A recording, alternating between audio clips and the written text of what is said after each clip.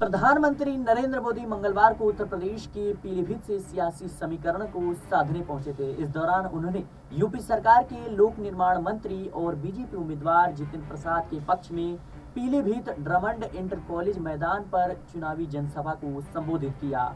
लेकिन एक सवाल जो अभी भी उठ रहा है, वरुण गांधी को लेकर, कि आखिर वरुण गांधी मंच पर नज़र क्यों नहीं आए? पीलीभीत से बीजेपी ने वरुण गांधी की जगह जितिन प्रसाद को उम्मीदवार बनाया है।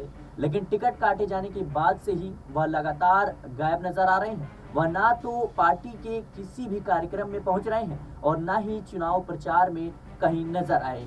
उन्होंने पहले सीएम योगी आदित्यनाथ की जनसभा से भी दूरी बनाई थी, लेकिन अब वह पीएम की रैली में भी नज़र नहीं आए। पीलीभीत से वरुण गांधी दो बार की सांसद रह चुके हैं, लेकिन इस बार उनका टिकट बीजेपी ने काट दिया है। हालाँकि बीते दिनों वरुण गांधी को लेकर जब उनकी माँ सुल्तानपुर से बीजेपी प्रत्याशी और मेनका गांधी से सवाल किया गया था, तब उन्होंने कहा कि वरुण गांधी और उनकी पत्नी बीमार है, दोनों आराम कर रहे हैं। लेकिन इसके बाद भी वरुण गांधी को लेकर सियासी सवाल लगातार उठ रहे हैं।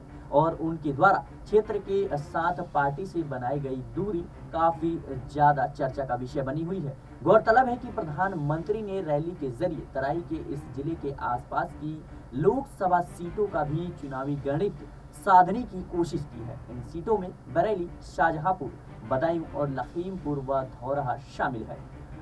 उनके मंच पर सीएम योगी आदित्यनाथ समेत कई नेता मौजूद रहे। वहीं बीजेपी उम्मीदवार के समर्थन में एक सप्ताह पहले ही सीएम योगी आदित्यनाथ ने प्रबुद्ध सम्मेलन को भी संबोधित किया था। बता दें कि इस सीट पर पहले चरण के दौरान 19 अप्रैल को वोटिंग होने वाली है, लेकिन वरुण गांधी की बीजेपी से दूरी अपने आप में कई सवाल खड़े करती है। फ़िलहाल के लिए इस खबर में इतना ही। आपके साथ मैं था सिराज। देखते रहिए नेक्स्ट टाइम पॉलिटिकल बाइट।